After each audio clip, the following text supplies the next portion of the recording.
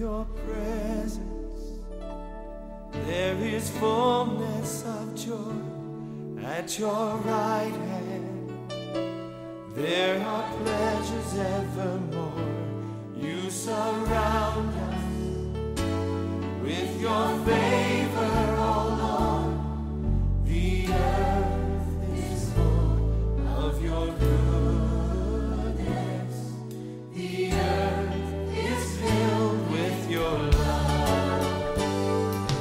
presence is the fullness of joy.